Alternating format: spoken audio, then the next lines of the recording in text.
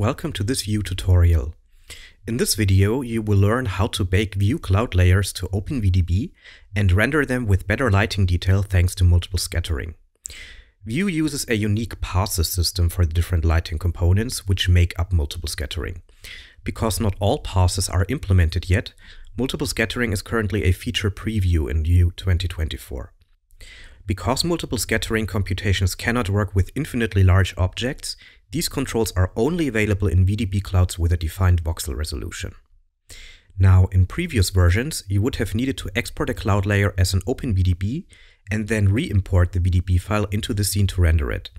In version 2024, you can now skip this process and directly convert a cloud layer within the scene. To bake a cloud layer into a VDB, you need to limit the cloud layer to a cloud zone. The cloud zone can be activated in the top right corner, and when you click this icon, you can then move and resize the zone within the cloud layer. In this example, I'm using a cumulus material with individual clouds in the sky, because these clouds show the effect of multiple scattering the best. Here, the cloud zone works just fine because I'm isolating a single cloud. However, if you have a cloud layer which covers a lot of the sky, the cloud zone will produce an unpleasant hard edge and you should combine it in that case with the cloud expert zone settings from the smart cloud material. Check out the separate video tutorial about animated OpenVDB export where we show how to use the cloud expert zone settings in the material. Now that the cloud is isolated, I need to right click on the cloud layer and choose convert to VDB. The default resolution is 500 steps, but you can open the options and choose a different resolution if needed. The resolution you require depends on the distance between the cloud and the camera. For close-up shots, you will have to choose a rather high resolution, but for this mid-distance shot, I'll stick to 500 steps. Vue now bakes the procedural cloud layer into a VDB. In the case of smart clouds, the material node graphs control multiple properties such as density, color, or opacity. Every property controlled with a node graph is automatically baked into a separate VDB grid. The total duration of the conversion depends on the resolution, the size of the cloud zone, and the complexity of the cloud material.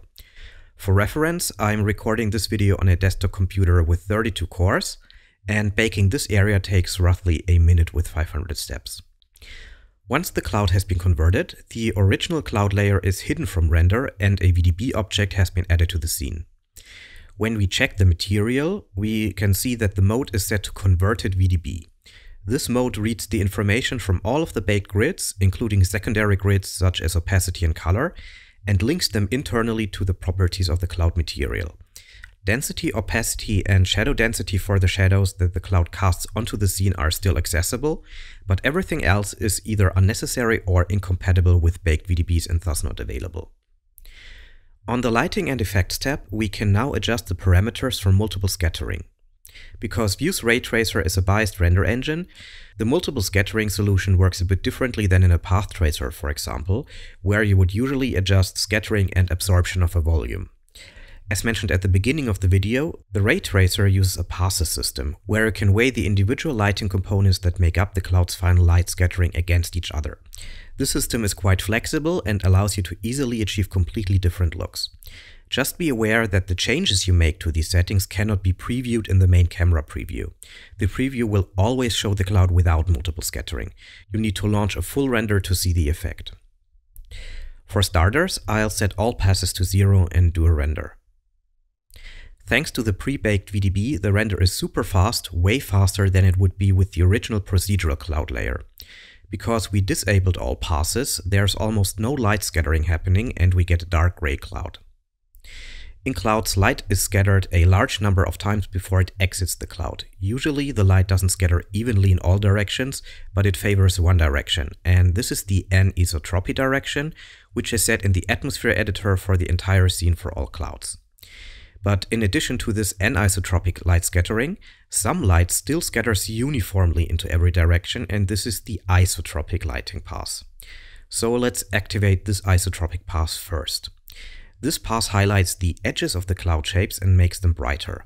And it is this component of the light scattering that has the strongest influence on the silver lining effect when the clouds are lit from behind. Isotropic light scattering is computed before the actual render starts, so with a larger cloud area spanning lots of kilometers, you might need to wait quite a bit until the render preparation phase is finished and the rendering begins. Now, when we compare the two renders, we can clearly see the brightened edges from the isotropic lighting. We'll turn on the isotropic boost next. The boost only has an effect when isotropic is not zero. It controls the brightness of the isotropic lighting and influences the light fall off. Let's do another render and then compare the results. With the isotropic boost, the edge highlighting and the silver lining effect are now more pronounced than before. Next, we need some direct light and shadows in the cloud, which is what the shadow factor controls. Once we add this, the cloud receives some depth thanks to the light coming from the sun. Still, the shadows are pitch black and completely lack any reflected global illumination light. So let's add ambient light to the cloud with the ambient factor and launch another render. Now we have nice looking light scattering in the shadow areas. Okay, so the last pass we haven't tried yet is the sky ambient factor. This pass adds a global color tint coming from the sky and atmosphere to the clouds.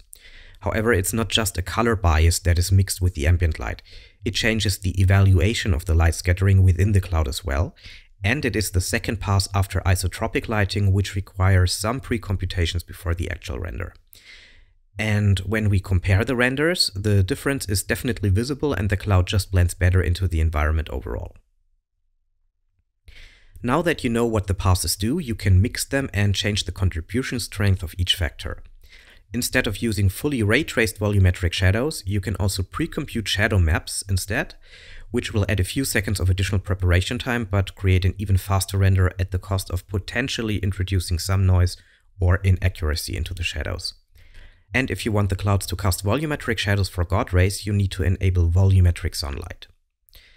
The multiple scattering improvements are particularly visible in sunset scenes and with large clouds with lots of thickness. Here's a comparison between the original procedural cloud layer with single scattering and the baked VDB with multiple scattering. There's much more lighting detail visible with multiple scattering and the cloud rendered in a fraction of the time compared to the procedural cloud layer. So we highly recommend you start converting your cloud layers to VDBs, even if you have to wait a bit for the baking process. The gain in render time and lighting quality is absolutely worth it, and to create a full cloudscape you can convert a larger portion of the cloud layer and then copy and paste the converted VDB to fill the camera view.